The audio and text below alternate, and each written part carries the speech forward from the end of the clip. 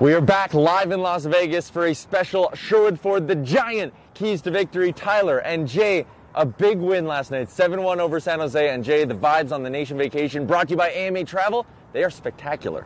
Oh, it is a vibe. Vegas is a vibe.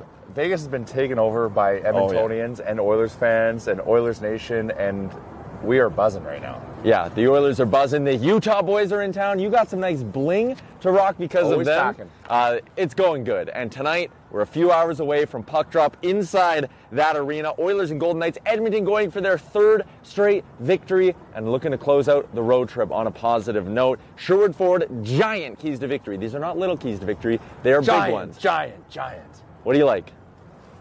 I said it on, I don't know, we did 400 podcasts Yep. today, so I don't know which one I said it on. But today, after back to back, just come to Vegas and do the work. Mm-hmm. Channel your inner Zach Hyman, bring your lunch pail, your hard hat, your steel toe boots, and let's go kick some butt here in this stupid arena behind us. For me, the big key is going to be do the little things right. I think, you know, line one through line four, pairing one through pairing three, they need all 18 skaters, whether they go 11 and 7, 12 and 6, whatever. Everyone's got to do their job tonight. Everyone's got to work hard, and you know what? If you do the little things right, as Bag Milk likes to say, if you respect the blue lines, you won't make any big mistakes, and you're going to win this hockey game. It is a big night for the Edmonton Oilers. The strip is flooded in orange and blue. The Rompers making a debut. season debut for the romper, and when I wear the romper, the Oilers win. So let's hope the positive vibes keep rolling. This has been a special Vegas edition of your Sherwood Ford Giant Keys to Victory Oilers Nights tonight.